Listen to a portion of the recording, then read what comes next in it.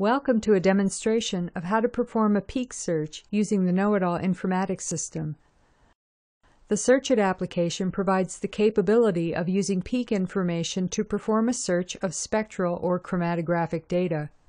This allows users to compare peak tables from databases to a peak table that you enter or extract from a spectrum. We begin by selecting the databases we wish to search. We can screen databases using the Limit to Spectral Technique control on the Databases tab. Another option is the use of a search profile. Choosing the CNMR Peaks profile loads several CNMR databases in the Selected for Searching window. We can remove databases from this window by selecting them, then clicking Remove. Loading the CNMR Peaks profile also adds a Peak Search tab to the display.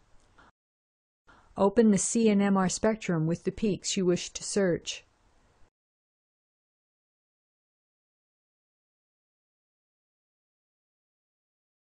If the Select Technique dialog box opens, choose the proper nucleus from the list. We can use the horizontal line tool to change the spectral display. The Peak Search Options dialog can be used to set preferences. The SearchIt application allows us to pick peaks manually, but peaks can also be picked automatically after setting the minimum intensity and maximum noise values. Peaks with intensity above the minimum and noise below the specified maximum will be automatically selected.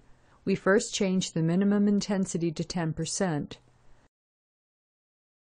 Then click the Pick button. The peak table is created based on the current settings. The three peaks around 77 come from the solvent chloroform and can easily be removed from the peak table. Select the peaks you wish to remove, then click Delete. There are several ways to add peaks to the peak table. You can click Add to open the Enter Peak dialog, where you can specify peak position, intensity, and tolerance, and specify whether the peak must be present for the record to be returned.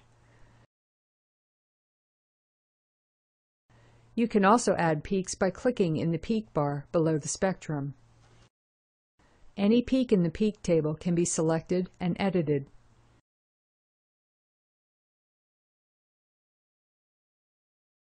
Another way to remove a peak from the peak table is to double-click it in the peak bar. When you are finished editing the peak table, click Search. Search results are automatically displayed in the MineIt application.